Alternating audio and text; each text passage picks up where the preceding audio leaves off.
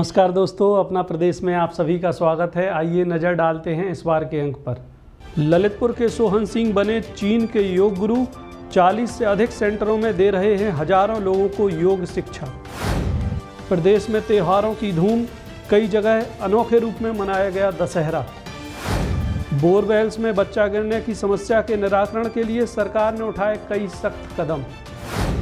मात्र पाँच रुपए में भरपेट भोजन करवाकर मरीजों और तीमारदारों के मददगार बने हुए हैं बहराइच के संदीप मित्तल। कौन कहता है, आसमां में सुराग नहीं हो सकता, एक पत्थर तो तबीयत से उछालो यारो। किसी शायर की उक्त पंक्तियों को सच कर दिखाया है योग गुरु सोहन सिंह ने।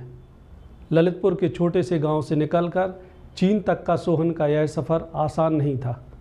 यह इनके दृढ़ इरादों का परिणाम रहा कि इन्होंने सॉफ्टवेयर इंजीनियर से योग गुरु बनने का सफ़र बड़े आसानी से तय कर लिया।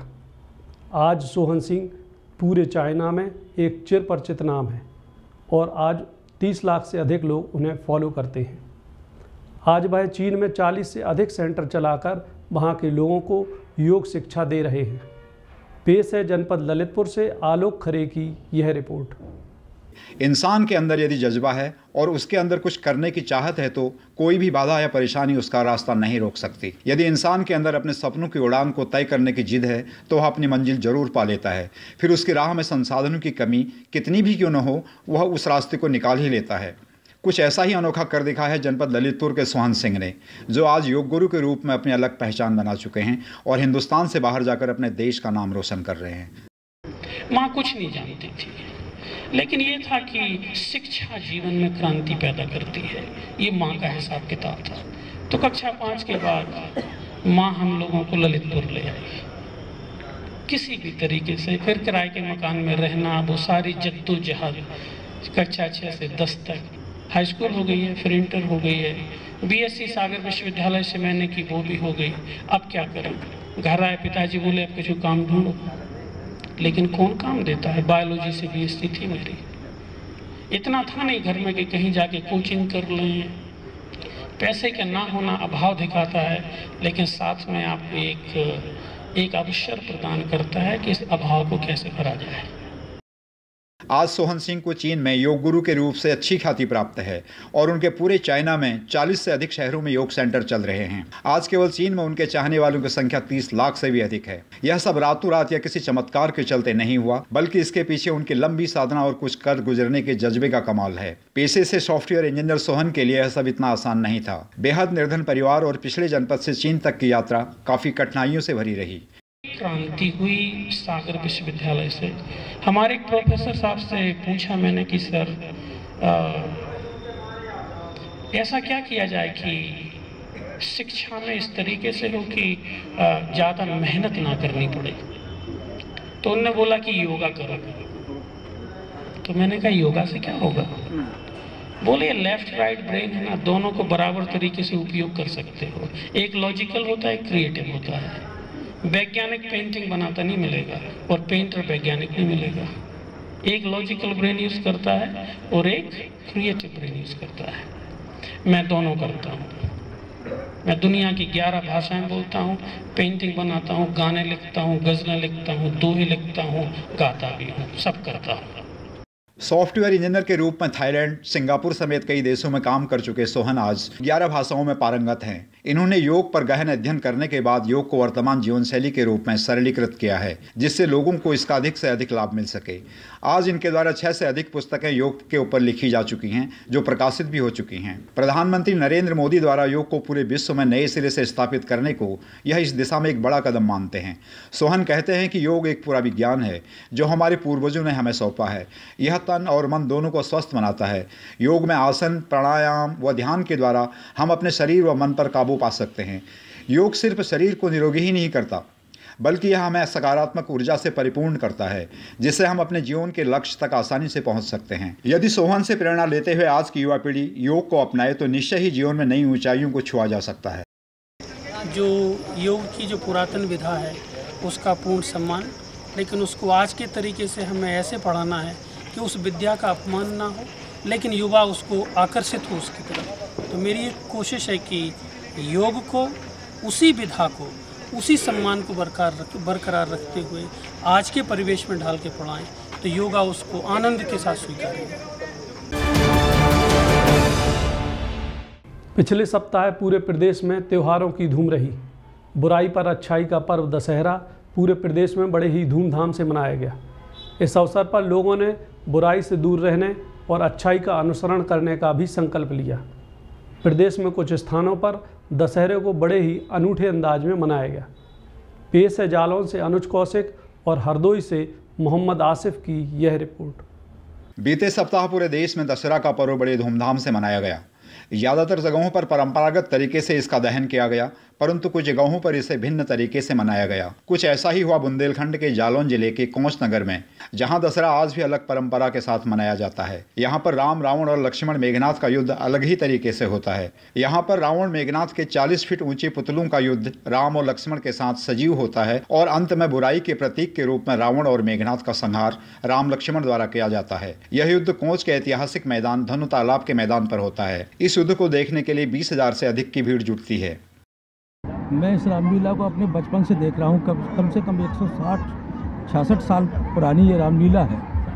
और इस रामलीला मंच पर जितने भी कलाकार हुए हैं, वो कहीं बाहर से नहीं बुलाए जाते हैं, बल्कि यही कोच के, नगर के आसपास के अच्छे कलाकार जो हैं, इसमें अच्छा रोल अपना करते हैं। चाहे भगवान राम का पाठ हो, चाहे मेघनाथ का पाठ हो, चाहे रावण का पाठ हो, चाहे अंगद का पाठ हो, सब यहीं के लोग करते हैं।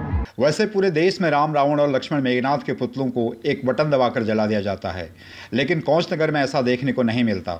यहाँ पर एक वर्षों से चली आ रही परंपरा का कौच के लोग अभी भी निर्वहन कर रहे हैं। यहाँ पर राम, रावण और लक्ष्मण मेघनाथ युद्ध परंपरागत तरीके से इतना सजीव होता है, जिसे देखने के लिए लोग दूर दराज से यहाँ पर आते हैं। रावण और मेघनाथ के चालीस फीट से ऊँचे पुतलों को बड़े बड़े पहियों वाले रथ में बांधा जाता है और इन पुतलों को पूरे मैदान में दौड़ाया जाता है, जिससे युद्ध एवं भगवान राम और उनके अनुज भ्राता लक्ष्मण करते हैं। इस युद्ध में कई बार मेघनाथ और रावण के पुतले ज़मीन पर गिर जाते हैं, जिसे देखकर वहाँ पर मौजूद लोग बहुत प्रसन्न होते हैं। इस युद्ध में लक्ष्मण को शक्ति भी लगती है और हनुमान संजीवनी बूटी भी लाते हैं। रावण और मेघनाथ के पुतलों को रथों में रखकर दौड़ाने के पीछे लोगों का तर्क यह है कि बुराई चाहे जितनी भी भागे, उसका अंत सुनिश्चित होता है।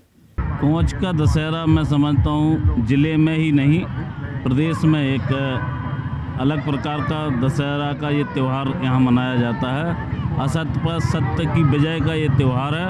और यहाँ रावण और मेघनाथ का जो सचल पुतला बनाया जाता है, राम लक्ष्मण चल चल के युद्ध करते हैं और उनका फिर वध करते हैं।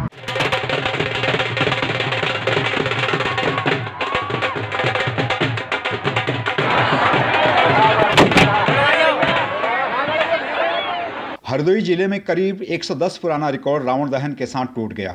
यहाँ पर जनवरी के मध्य रामलीला का आयोजन किया जाता है। व इसके अंत में होली से पहले रावण दहन होता था। तब से आज तक यही रीति चली आ रही है। कहा जाता है कि यहाँ पर 110 वर्ष पूरे अंग्रेज़ द्वारा नुमाइश मेले की शुरुआत की गई।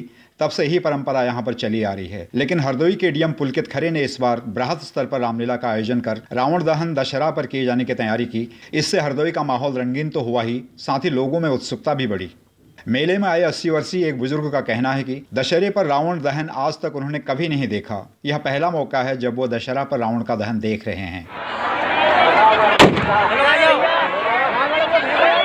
मेरी शुद्ध में आज तक कभी नहीं लगा। ये जिला अधिकारी महोदय के विशेष प्रयास से पहली बार इस ज़िले में लगा है। यहाँ पर दशहरे का मेला कभी नहीं लगा। ये हमने अपने पिताजी से जो है पूछा भी कि उन्होंने का कहना है कि यहाँ पर कभी मेला दशहरे का नहीं लगा।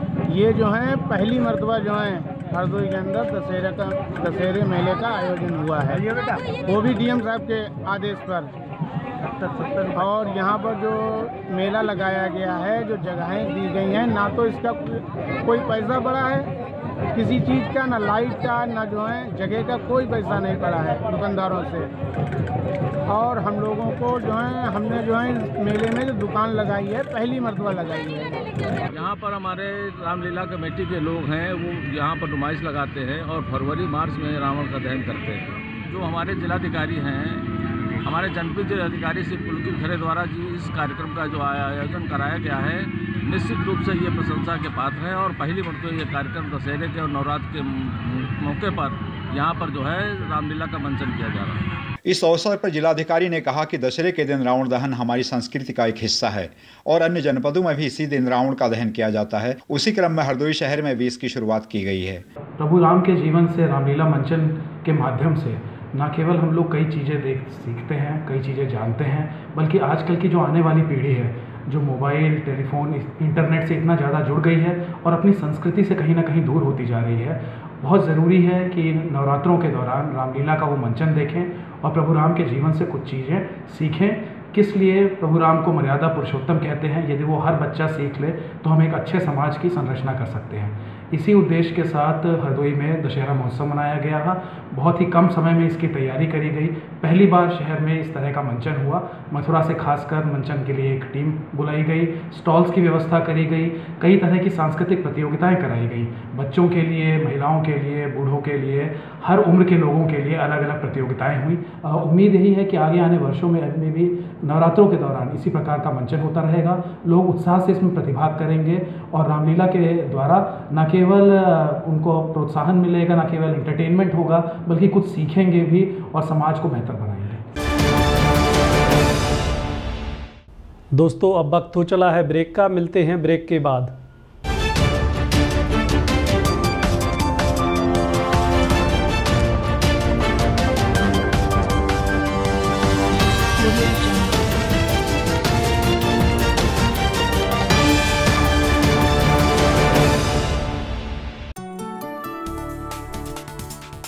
उत्तर प्रदेश सरकार वर्षों से लंबित परियोजनाओं को तेज़ी से पूरा कर रही है।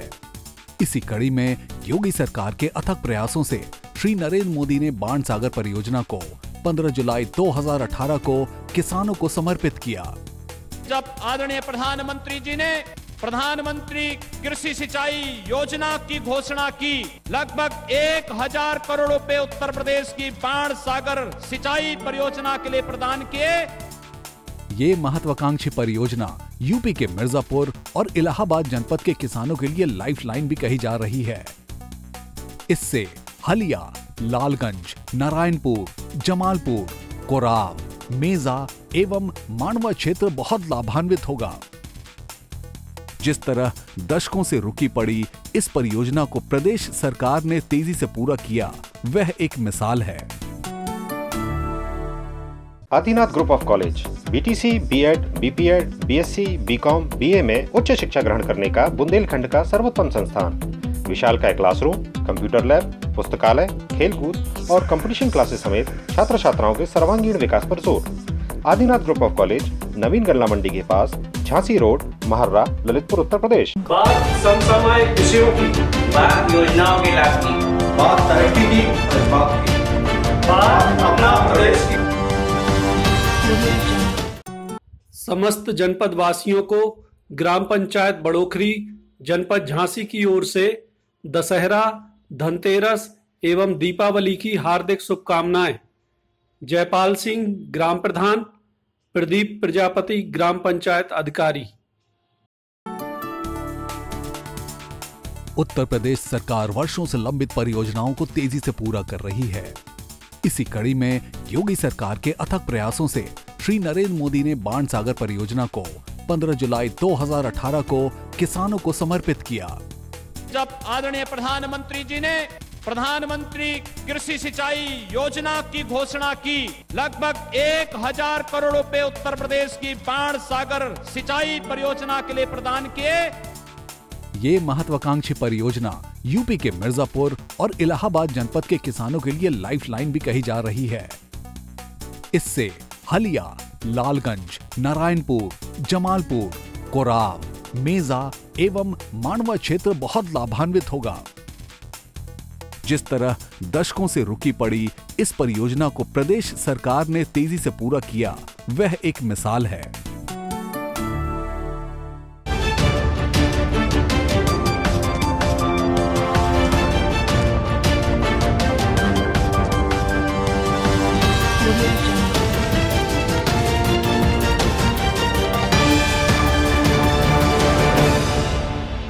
ब्रेक के बाद पुनः आप सभी का स्वागत है। आइए रुक करते हैं आगे की ओर।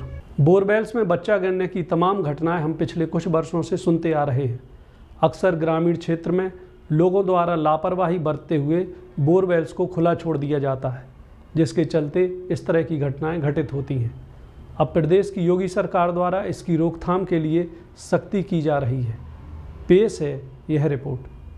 हमारे देश के कई भागों में छोटे छोटे बच्चों के बोरवेल्स में गिर जाने की घटनाएँ अब आम हो चुकी हैं। अक्सर हम अपने आसपास इस तरह की घटनाओं के बारे में सुनते हैं। इस तरह की घटनाओं में कई बार गिरने वाले बच्चे को अपनी जान तक गंवानी पड़ती है तो कई बार शासन प्रशासन द्वारा काफ़ी मशक्क़त के बाद उसे बचा लिया जाता है। ऐसे में बोरवेल्स को खुला छोड़ने वाले किसान या ग्रामीणों पर कुछ समय के लिए हम आक्रोशित होते हैं और फिर उसी ढर्रे पर चलने लगते हैं। कुछ इसी तरह का एक वाकया पिछले दिनों फिरोजाबाद ज़िले के मटसेना इलाके के गाँव सिखरा में हुआ, जब खेलते समय एक दो साल का बच्चा शैकी 200 फुट गहरे बोरवेल में गिर गया। गनीमत यह रही कि बच्चा 20 फुट पर ही जाकर अटक गया। ऐसे में ग्रामीणों ने तत्परता दिखाते हुए खुद ही जेसीबी से बगल में गड्ढा किया और बच्चे को सकुशल निकाल लिया। इसके बाद बच्चे को पहले से मौजूद डॉक्टरों की टीम ने चेक किया, जिन्होंने बताया कि बच्चा पूर्ण रूप से स्वस्थ है। ऐसे में फिर से कई सवाल उठ रहे हैं कि प्रदेश में बढ़ती इस तरह की घटनाओं को कैसे रोका जाए। हालाँकि सरकार द्वारा इस तरह की घटनाओं पर अंकुश लगाने के लिए कई कदम भी उठाए गए हैं, परंतु इस तरह की घटनाओं को आम आदमी की जागरूकता के द्वारा ही पूर्ण रूप से रोका जा सकता है। ज़रूरत है हम सभी के इस ओर लोगों को जागरूक करने की, जिससे किसान अपने खाली या बेकार पड़े बोर का उचित इंतज़ाम करें, ताकि इस तरह की घटनाएँ घटित न हो सकें। एक खेत में गया था खाना देने अपने बड़े पापा को। उसके बाद वा, वापस लौट के आ रहा था। गोद में आ रहा था अपनी दीदी की में। उसके हाथ से छूट के चला गया। वहाँ से आना पड़ा था उसको उठाने के लिए।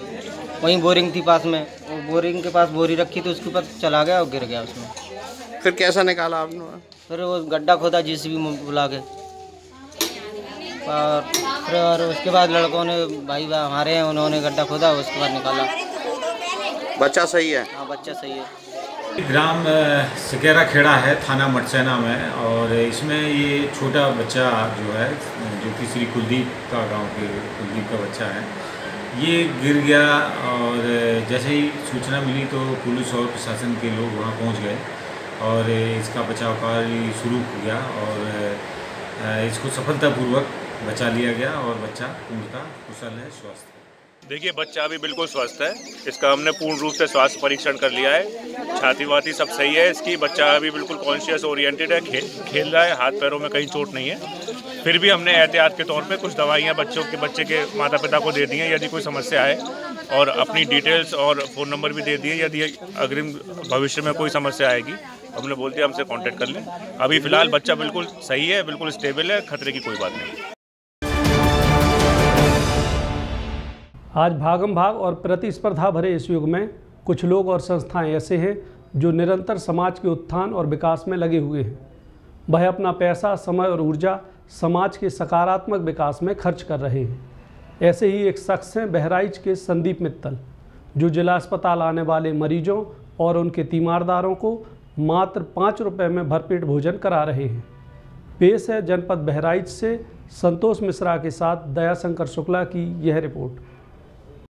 कहते हैं कि वह मनुष्य ही क्या जिसका दिल दूसरे का दुख देख कर न पसीजे। वह इंसान ही क्या जो इंसान के काम ना सके। लेकिन आज की भागदौड़ भरी ज़िंदगी और इंसान की सुख सुविधाओं के लिए बढ़ती ख्वाहिशों ने लोगों को निष्ठुर बना दिया है। परंतु अभी भी समाज में कई लोग ऐसे हैं जो दूसरों के दुख तकलीफ़ में अपने आप को जोड़ लेते हैं। ऐसे ही एक व्यक्ति है जनपद बहराइच के संदीप मित्तल, जो जिला अस्पताल आने वाले मरीजों और उनके तीमारदारों को भोजन करा रहे हैं। एक बार संदीप अपनी माता के साथ ले जिला अस्पताल आए, जहाँ उन्हें एक पति पत्नी आपस में यह कहते हुए मिले कि खाने की एक थाली मंगा लेते हैं, उसी में से दोनों लोग खा लेंगे। संदीप ने जब उनसे इस बारे में बात की तो पता चला कि उनके पास सिर्फ़ इतने ही पैसे हैं, जिससे वह एक थाली ही मंगा सकते हैं। यह सुनकर संदीप का मन विचलित हो उठा और उन्होंने एक भोजनशाला खोलने का विचार कर लिया। बस फिर क्या था? अपने भाई और कुछ परिचितों के साथ मिलकर उन्होंने एक निःशुल्क भोजनशाला जिला अस्पताल बहराइच के सामने खोल दी, जहाँ पर कुछ दिनों में उन्हें यह एहसास हुआ कि निःशुल्क के काम पर कुछ लोगों को आपत्ति है और वह इससे मान सम्मान को ठेस वाला मानते हैं। ऐसे में फिर मात्र पाँच रुपए में भरपेट भोजन कराने का विचार किया, जिससे अस्पताल में दूर दराज से आने वाले मरीजों को अब खाने के लिए परेशान नहीं होना पड़ता है। हालाँकि यदि आज भी कोई ऐसा व्यक्ति आता है, जो यह मूल्य भी देने में अक्षम है तो उसे आज भी यह सुविधा निःशुल्क उपलब्ध है।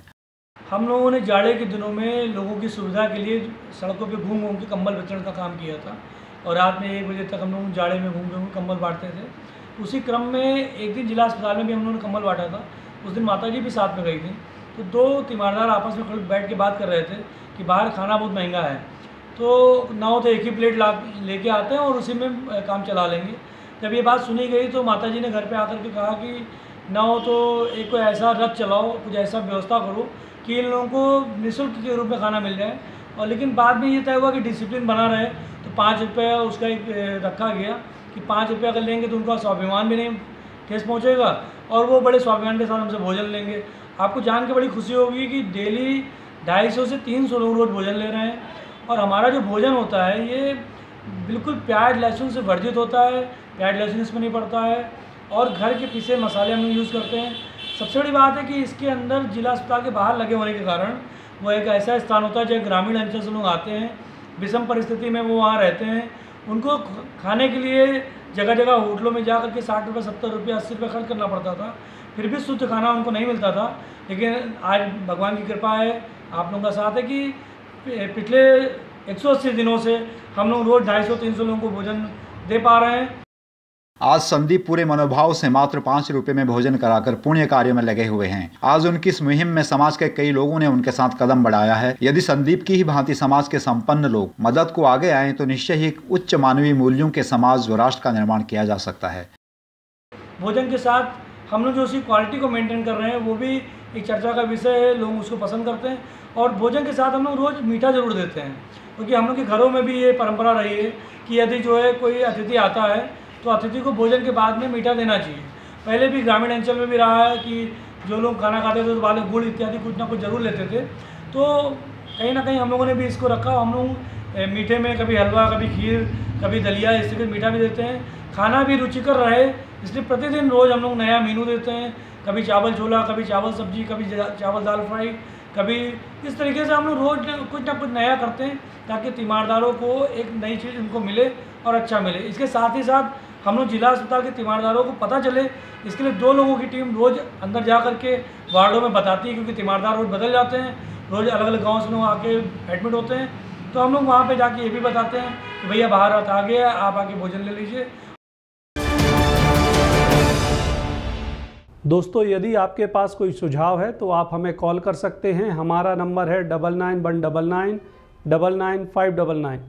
या आप हमें ईमेल भी कर सकते हैं। हमारा ईमेल पता है अपना Pradesh T V at the rate G mail dot com. दोस्तों, आज के लिए बस इतना ही। अगले सप्ताह फिर मुलाकात होगी। तब तक के लिए मुझे मनोज पुरोहित को दीजिए आज्ञा। नमस्कार।